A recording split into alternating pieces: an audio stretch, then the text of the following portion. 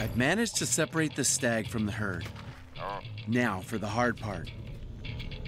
Large male reindeer can weigh as much as 700 pounds and sport antlers four feet long. Okay, I gotta catch this male. Ah, yeah, yeah.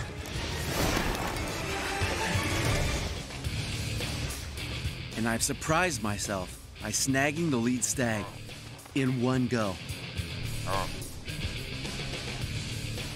This is a very, very dangerous animal.